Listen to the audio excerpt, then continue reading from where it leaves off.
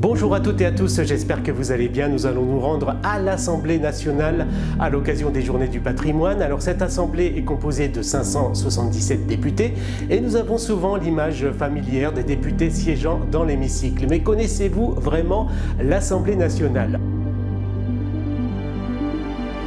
Un petit rappel sur les missions de l'Assemblée nationale qui sont d'élaborer et de voter les lois, de contrôler l'action du gouvernement et d'évaluer les politiques publiques. Commençons notre visite par le salon de la Croix. C'est ici que se concertent les députés siégeant dans l'hémicycle à la gauche du président. Il s'agit sans doute du salon le plus spectaculaire de l'Assemblée, notamment grâce au remarquable décor peint par Eugène Delacroix. Ici la salle Casimir Perrier avec le bronze de Dalou. Cette œuvre est une véritable prouesse technique. L'ensemble pèse 3 tonnes 7 et compte 67 personnages. Ce bronze fut créé pour célébrer le centenaire de la Révolution française. Les ministres traversent habituellement cette salle pour se rendre dans l'hémicycle. C'est le cas les mardis lorsqu'ils répondent aux questions du gouvernement. Dans la cour d'honneur, on peut y voir la sphère en granit de l'artiste Walter de Maria évoquant la Déclaration des droits de l'homme. Des plaques scellées vous rappellent ce texte fondamental de la Révolution française de 1789. C'est par cette cour que les parlementaires et les membres du gouvernement ont accès au Palais Bourbon. Le salon Pujol est l'un des trois salons qui bordent l'hémicycle. Il est par tradition le lieu de rencontre des députés siégeant à droite du Parlement. Il doit son nom au peintre qui réalisa la décoration et le saviez-vous avec une technique bien particulière du trompe-l'œil en faux marbre. Le salon Marianne est une curiosité à l'Assemblée nationale. Les vitrines accueillent deux collections.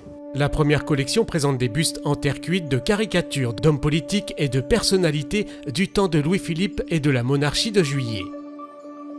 Dans les autres grandes vitrines sont exposés des bustes de Marianne au style très différent.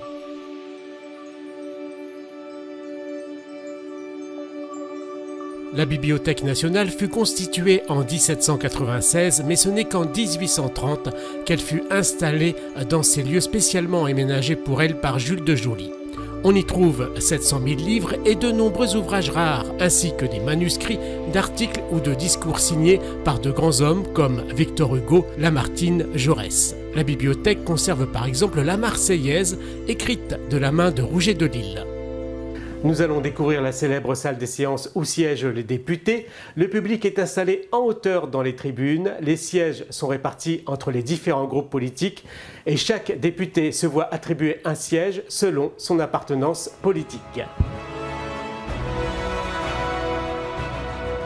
Les deux premiers rangs des travées centrales accueillent des membres du gouvernement et leurs collaborateurs. L'hémicycle a été agrandi au XIXe siècle, mais les colonnades ont gardé leur physionomie d'origine, de même que le bureau et le fauteuil du président, ainsi que le bas-relief de la tribune de l'orateur. La grande tapisserie centrale a été tissée à la manufacture des Gobelins elle représente l'école d'Athènes.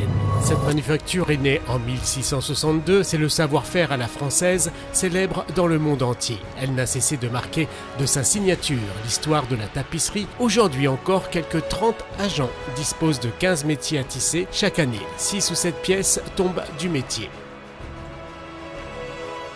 Mais revenons à l'Assemblée où au-dessus de la tribune de l'orateur se trouve le perchoir, c'est-à-dire le bureau du président de l'Assemblée nationale.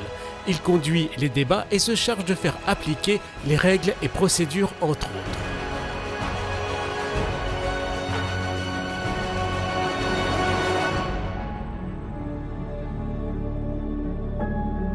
Voici la galerie des fêtes aménagée en 1845. Cet espace rappelle la célèbre galerie des glaces du château de Versailles. C'est ici que sont organisés des dîners avec de grands chefs d'État. Cette galerie abritait à l'origine une cinquantaine de tableaux italiennes, espagnoles et françaises, appartenant au duc de Morny, demi-frère de Napoléon III. La collection fut dispersée après sa mort en 1879.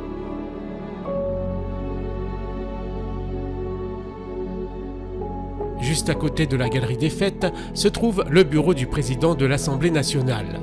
C'est le quatrième personnage de l'État, il est élu par les députés. En tant que représentant de l'Assemblée, il joue un rôle international de premier plan. À ce titre, il rencontre les chefs d'État et de gouvernement étrangers en visite en France. La visite se poursuit avec la découverte de plusieurs salons et vestibules. Admirez par exemple ce salon des saisons.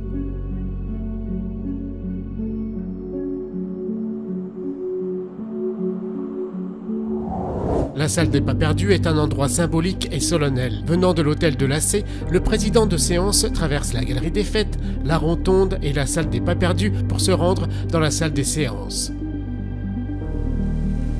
Terminons notre visite par ce magnifique petit jardin où se promène parfois le président de l'Assemblée nationale. Voilà, cette vidéo est désormais terminée. Merci euh, de l'avoir suivi. Rendez-vous euh, très prochainement pour d'autres aventures. Et puis, mettez un petit pouce j'aime s'il vous plaît. Et abonnez-vous à ma chaîne. Ciao